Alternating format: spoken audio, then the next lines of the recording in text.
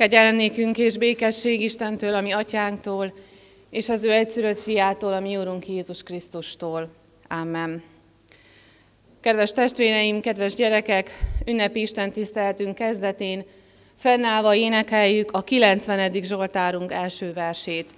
A 90. Zsoltárunk első verse így kezdődik, Te benned bíztunk elejétől fogva.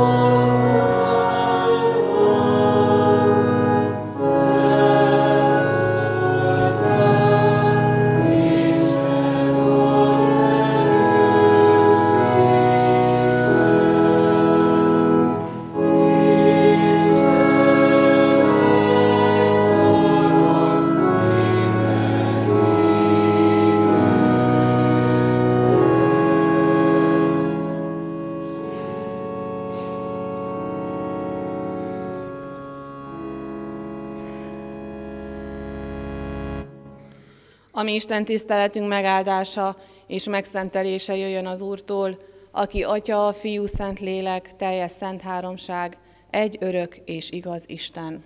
Amen. Hallgassátok meg Istennek ígéjét Múzás második könyvéből, a harmadik fejezet tizedik verséből, amíg ezt az ige szakaszt felolvasom és magyarázom, helyeteket elfoglalva, nyitott szívvel hallgassátok. Mózes második könyve harmadik fejezetének tizedik, tizenegyedik verseiből így szól hozzátok, hozzánk Isten igéje. Most azért menj, elküldelek a fáraóhoz, vezest ki népemet, Izrael fiait Egyiptomból. Mózes azt felelte erre az Istennek, ki vagyok én, hogy a fáraóhoz menjek, és kihozzam Izrael fiait Egyiptomból. De Isten azt mondta, bizony, én veled leszek. Kedves gyerekek, kedves testvéreim, gyermekkoromban volt egy könyv, illetve nem is egy, hanem kettő, már két részes könyv volt, az volt a címe, hogy Mi a célod? Kis apró történetek voltak benne arról, hogy hogy emberek hogyan találták meg életük célját. Kedden az iskolai áhítaton, akik ott voltak, azok emlékeznek rá, hogy arról beszéltem, hogy jó lenne tudni, kik vagyunk mi. Jó lenne megtalálni a választ arra, hogy ki vagyok én. Ezen a mai Isten tisztelten arról szeretnék beszélni, hogy arra is jó lenne megtalálni a választ, hogy mi a célom. Milyen célból vagyok itt ezen a földön? Milyen célral születtem, mi célból élek? Kedves kisebbek, tőletek ezt úgy kérdezném meg, hogy megértsétek, mi leszel, ha nagy leszel? Tanítónénd leszel? Vagy orvos leszel? Doktor bácsi? Vagy focista? Vagy csak egyszerűen apuka és anyuka leszel? Bőven van még időtök eldönteni, de általában az ember eljut egy olyan korba, ami után azért már jó lenne kitűzni valamiféle célt magának. Mert a cél nélküli élet olyan, mint a kormány nélküli hajó, vagy a felnyergeletlen ló. Megy, amerre sodorja az ár, vagy amerre éppen viszi a szél. Ha nincs egy kitűzött célod, ha nem tudod, hogy te konkrétan mit akarsz az életben, és hova tartasz, akkor bizony te is könnyen elsodródhatsz az árral. Azzal az árral, amiben ilyen és hasonló felkiáltások vannak, egyszer élek, most kell kiélnem magam. Kit érdekel, hanyas lesz az érettségim vagy a diplomám, úgyse kérdezi senki, azt kérdezik csak, hogy megvan-e. Majd lesz valahogy, stb. Hát ezek a ködösítő, aggodalom, csillapító és agytombító dumák, amivel hát szoktátok magatokat úgymond nyugtatni, szokták magukat nyugtatni a céltalan, kerengő, kóborló, tévejgő fiatalok, és még sokszor meg is szólják a másikat, aki viszont haladna tudatosan valamilyen irányba. Amikor az Aradi 13 vértanúról emlékezünk, akkor szeretném a mai alkalommal arra felhívni a figyelmeteket, hogy ők tudták, merre haladnak. Ők kristálytisztán látták, mi az a cél, amit nekik az Úristen adott az életükbe. És ezt szeretném elétek állítani ma példaként, hiszen őket azóta újból és újból, évről és évre elővesszük, és előttük újból és újból, évről és évre fejet hajtunk. Az ő példájukról szeretnék ma példát adni nektek, akiknek volt céljuk, akik nem sodródtak az árral, akik felismerték, hogy ez az irány nem jó, és nekünk az ellenkező irányba kell mennünk, mert ez diktálta a hazaszeretetük, az elkölcsiségük, a keresztény hitük.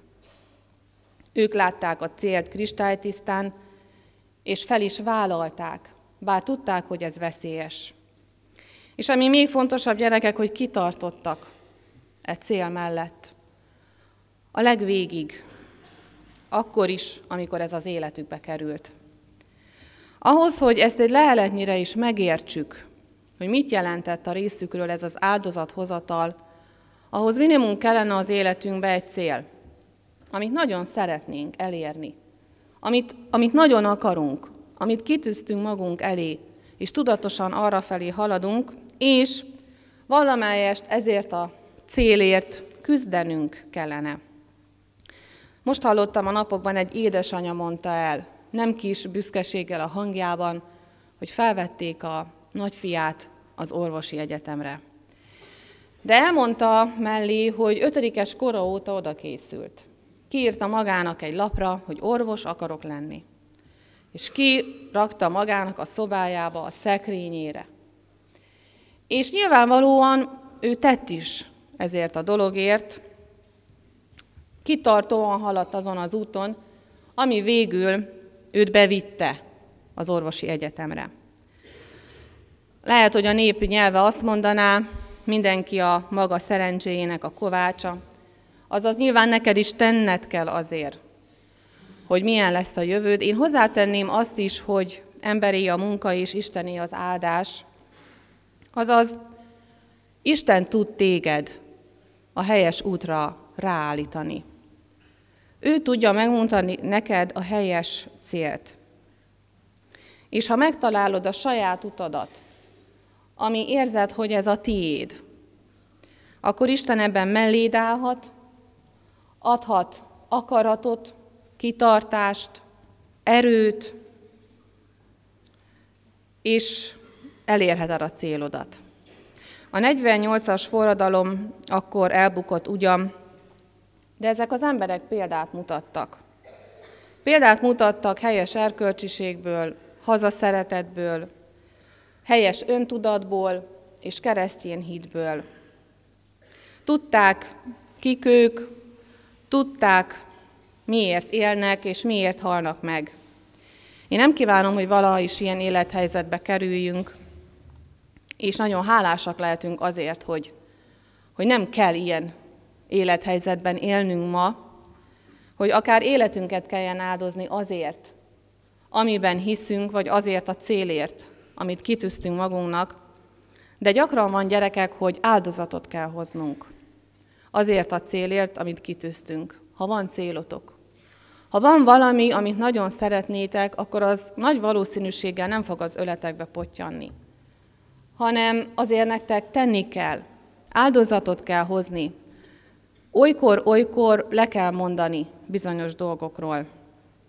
Mert manapság, aki be akar jutni egy orvosi egyetemre, de akármilyen más egyetemet mondhatnék, annak valószínűleg annyit kell majd tanulnia, hogy nem lesz ideje a haverjaival éjszaka bulizni, vagy a Facebookon lógni folyamatosan, és ötféle képet felrakni magáról, hanem tanulni fog. És lehet, hogy ezért nem is lesz olyan menő arc az osztályba, és ez egy áldozat hozatal. Ez valamilyen szinten egy lemondás.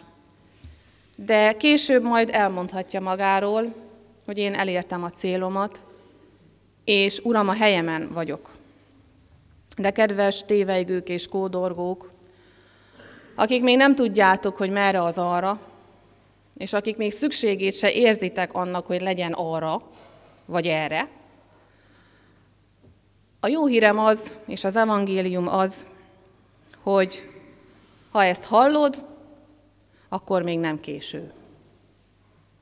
Akkor még nem késő célt keresni. Mert nézzétek meg Mózest, akinek az elhívási történetét felolvastam a Bibliából, 80 éves volt, amikor Isten a helyére állította. Már mögötte volt kétszer 40 év. Az első 40 évben totálisan hamis önképe volt. Teljesen el volt tévedve. Totál másnak hitte magát, mint aki. A második 40 évben pedig épp elszalasztotta az eléje adódó lehetőséget. Tehát rossz döntést hozott, ami az életét egy teljesen más irányba terelte. De tudjátok, az a jó hír és az evangélium, hogy Isten olyan türelmes hozzánk, hogy annyira ránk vár, hogy annyira megvárja azt, hogy szükségét érezd annak, hogy, hogy kellene valami cél az életembe, hogy hol van az én helyem, hogy merre is kellene elindulnom, hogy Uram, akarsz engem valahol látni, hogy mi célból vagyok itt, hol szeretnél engem használni, hol van az, ahol én boldog leszek, ahol ahol kiteljesedett leszek, ahol azt fogom érezni, hogy most minden rendben van. Isten megvárja, amíg ez a szükség, ez a vágy egyáltalán megszületik a szívedben, és utána odaáll melléd, és megpróbálja neked ezt felvillantani, megpróbálja neked ezt megmutatni.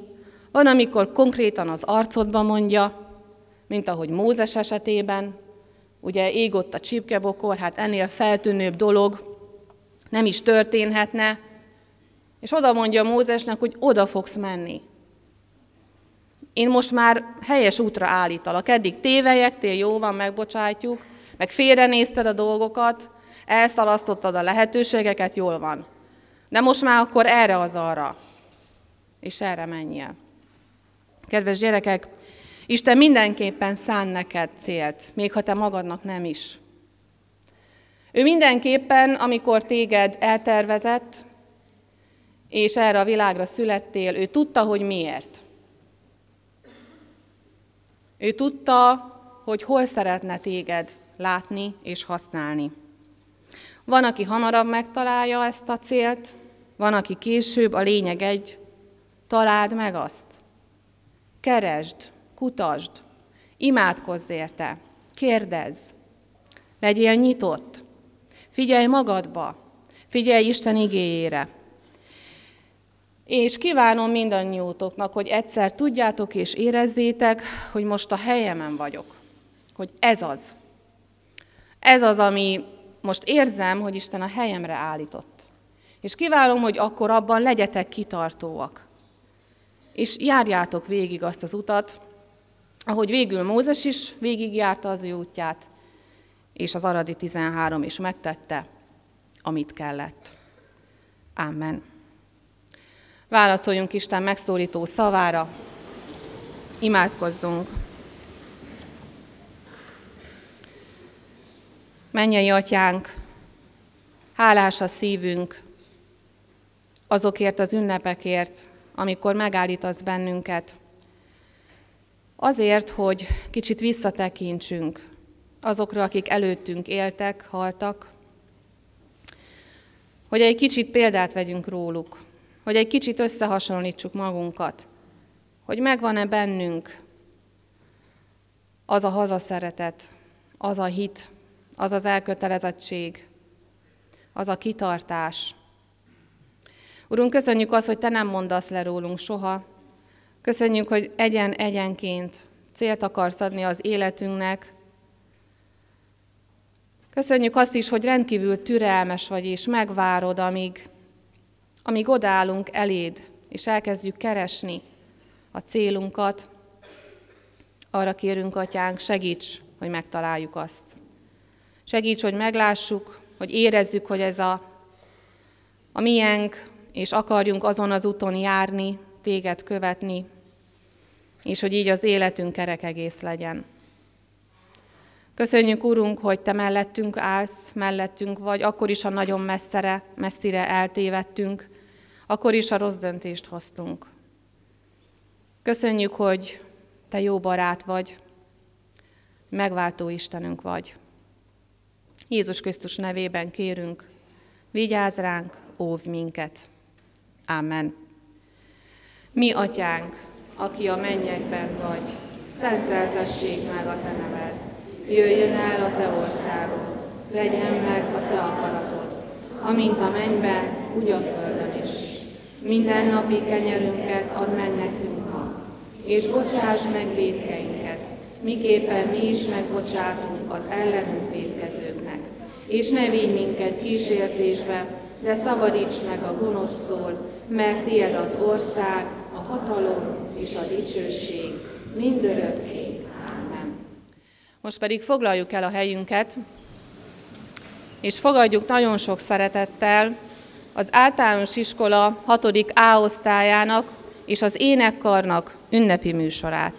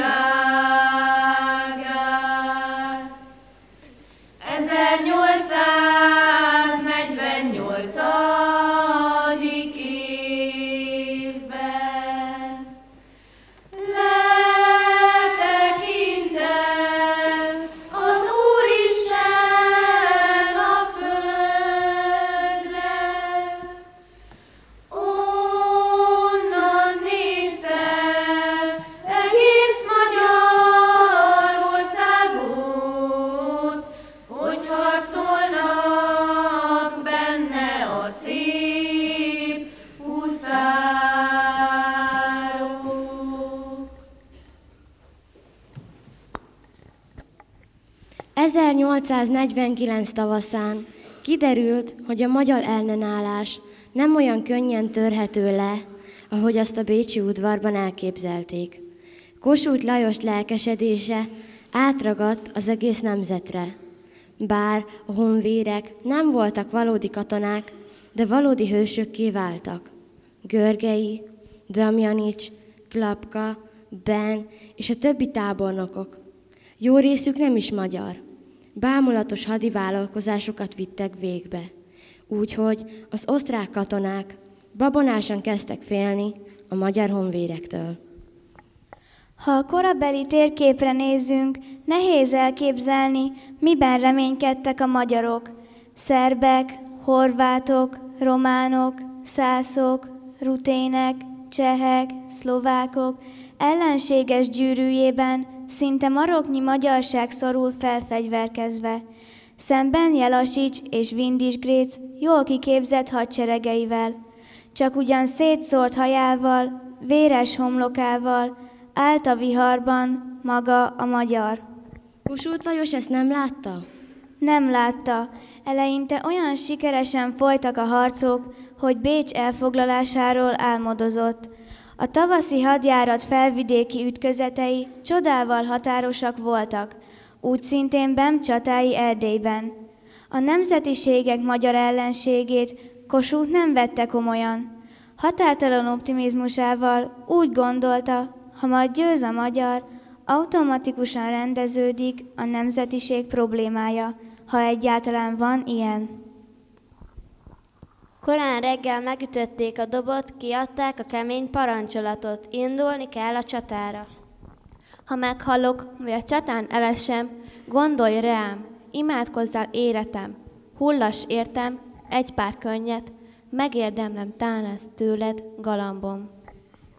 Hogyan is tekinthette volna Kossuth ellenségének a nemzetiségeiket, amikor tízezer szám harcoltak a honvédek közt, tótok, rutinek és németek.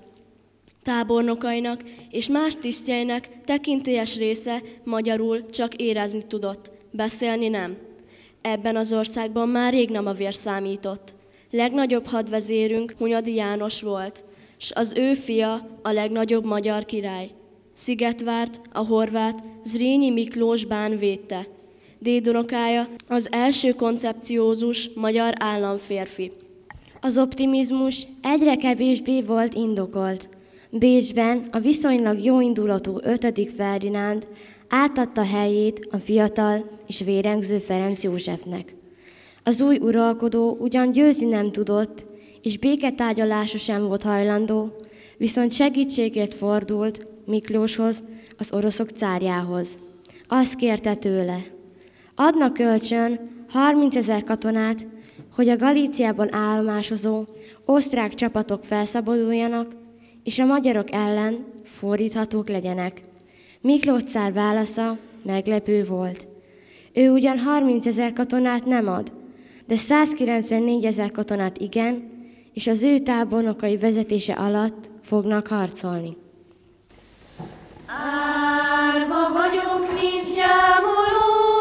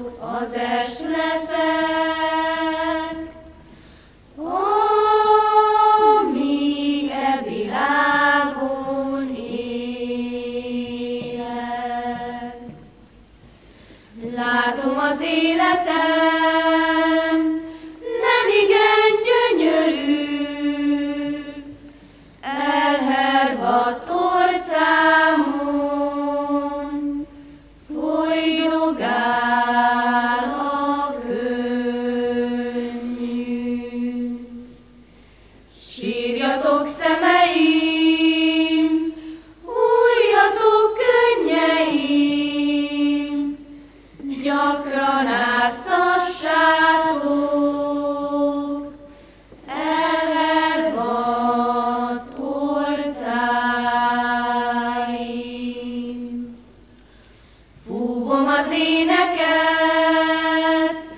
de nem jó kedvemből, csak a búfúhatja szomorú szívemből.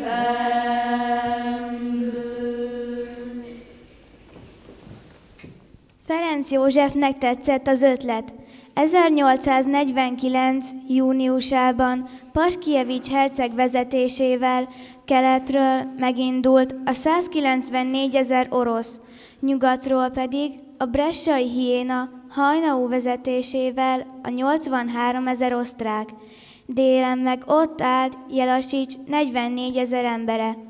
Mit kezdhetett ilyen túlerővel szemben Görgely 152 ezer legyengült, szétszórt honvédje? Honnét jössz te, új leverten hépajtás? Miért sír egyik szemed jobban, mint a más? És arcodon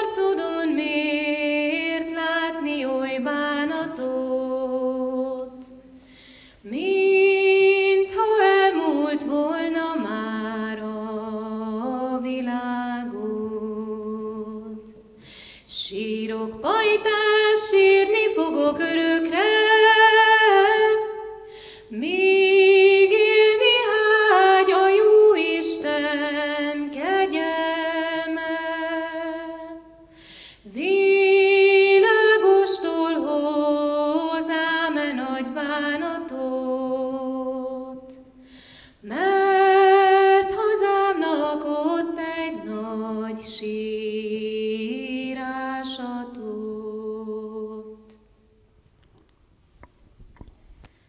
A világosi fegyverletétel augusztus 13-án megtörtént. Ferenc József felfüggesztette a magyar alkotmányt. Hajnaú megkezdte a bosszúálló mészárlást. Legnagyobb ellenségünk egyébként nem a császár volt, hanem az anyja, a magyar gyűlölő Zsófia anya királyné. Kossuth Lajos elásatta Orsovánál a magyarok szent koronáját, és a kormányjal együtt Törökországon át elmenekült. Lélegzetétől meghervadt az élet. A szellemek világa kialudt, és az elsötéltült égnek arcain vad fényel a villámok rajzolták le az ellenséges istenek haragját. Akit bűnösnek tartottak, hajnaul legyilkoltatta. A börtönök megteltek, a tiszteket lefokozták. Közlegényként az osztrák hadseregbe sorozták. Megalázó beosztásukban éveket töltöttek. Aki tehette, emigrált vagy elbújdosott. Vivének-e földet, egy maroknyi földet, bújdosó gyermekeid, ó, haza belőled, hogy a távolba se váljanak el tőled, és a nagy óceán könnyeiktől telik, sóhajtásaikkal a szellőt szerdelik, vajon hol lehetnek nyugvóhelyeik? A legtragikusabb nap október 6-a volt. Ezen a napon Pesten kivégezték Battyányi Lajos miniszterelnököt. Aradon pedig 13 honvédtábornokot. Jaj, de szépen süt az őszi napsugára, az aradi vár tömlőcnek ablakára. Bányaszta tizenhárom magyar vitéz, ki a tömlőc fenekén a halálra kész. Elítélték sorba mind a tizenhármat, szőttek, fontak a nyakukba ezer vádat.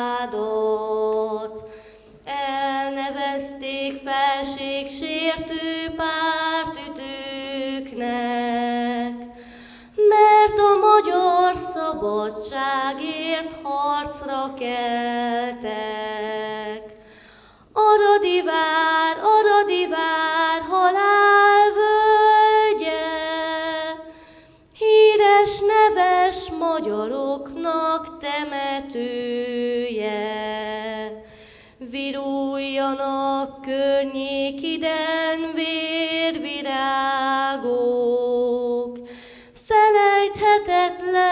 Tizenhárom a haláltok.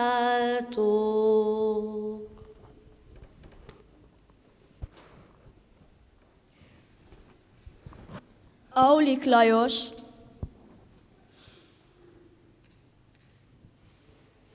Damjanics János,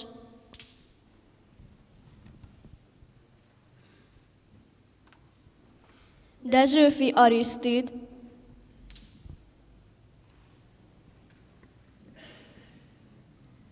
Kis Ernő,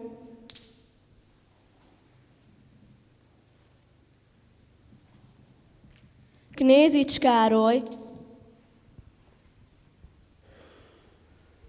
Láner György,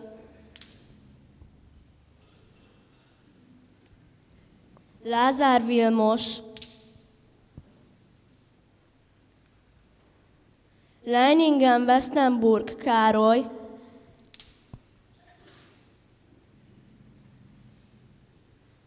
Nagy Sándor József,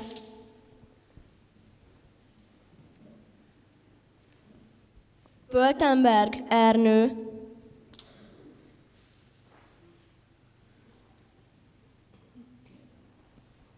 Schweidel József,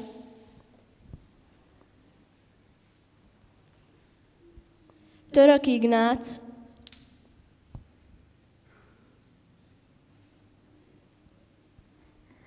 Vécsei Károly. Ó,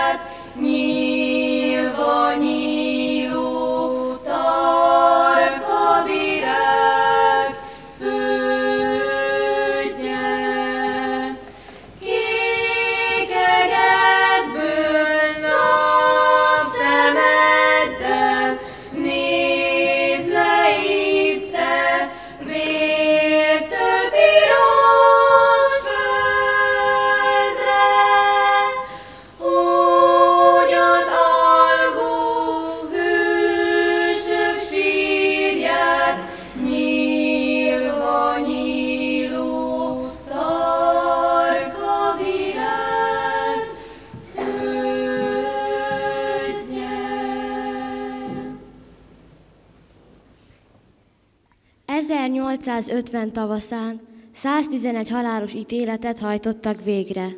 Politikusokat, tiszteket, egyszerű embereket büntettek meg a szabadságharcban való részvételükért. A börtönbüntetésre ítéltek száma meghaladta az 1200-at.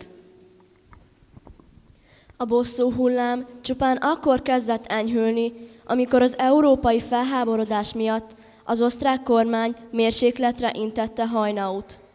1850 tavaszától a halálos ítéleteket várfogságra enyhítették. A büntetések része volt az is, hogy a honvédsereg állományainak 25-30%-át besorozták a császári és királyi hadseregbe, és 7 éves szolgálati időt kellett eltölteniük távol a hazától. Október 6-a azóta a Magyar Nemzetgyász napja lett. A magyar szabadságharc ugyan elveszett a túlerő miatt, de a nemzet áldozata nem volt hiába való.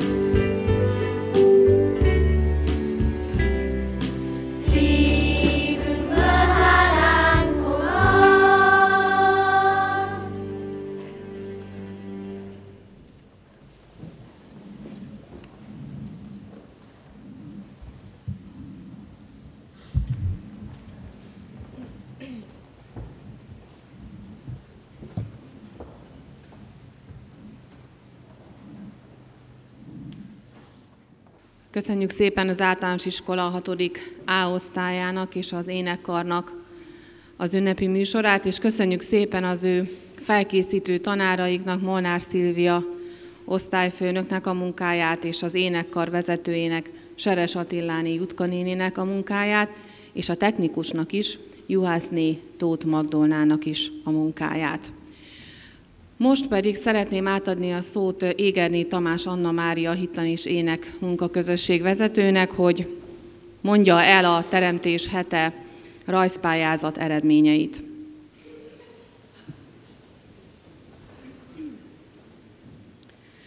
A tavalyi évhez hasonlóan ebben az évben is megrendeztük a Teremtés heti rajzpályázatot, aminek az eredményét szeretném most kihirdetni. Három korosztályban hirdettünk meg ezt a pályázatot, harmadik, negyedikes, ötödik, hatodikos és hetedik, nyolcadikos korosztályban, és mind a három korosztályban első-harmadik helyezetet értékeltünk, és azt kérem, hogy aki a nevét hallja, az fáradjon ki ide az úrasztalához, és vegye át az ajándék könnyutalmát. Többieket pedig arra kérném, hogy ne az egyes rajzolók, az egyes nyertesek után, hanem az egyes korosztályok után tapsoljuk majd meg őket. Harmadik, negyedikes korosztályban harmadik helyezést ért el Perjesi Karina harmadik B-osztályos tanuló, második helyezést ért el Szűcs Liliana negyedik B-osztályos tanuló, és első helyezést ért el Pápai Kerubina Dea, szintén negyedik B-osztályos tanuló.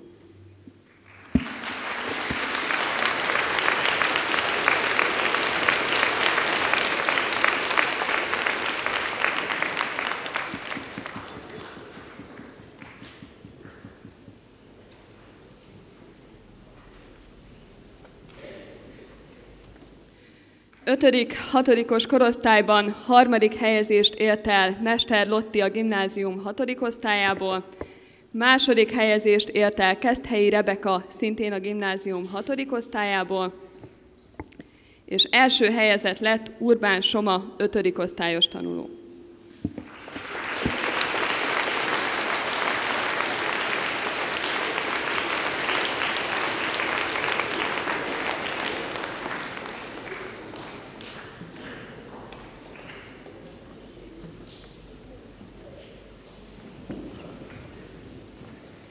7.-8. korosztályban harmadik helyezett lett Simon Simonetta a gimnázium 8. osztályából, második helyezett lett Bíró Csenge a gimnázium 7. osztályából, és első helyezett lett Gácsi Boglárka, szintén a gimnáziumból, a 8. osztályból.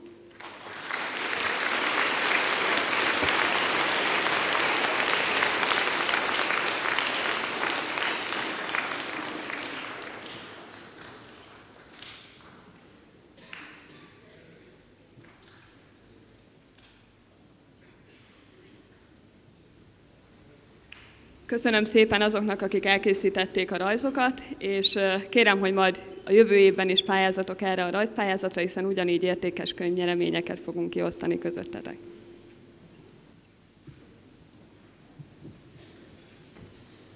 Isten tiszteletünk végén és az áldásvétele előtt fennállva énekeljük el nemzeti imádságunkat, a himnuszt. thank you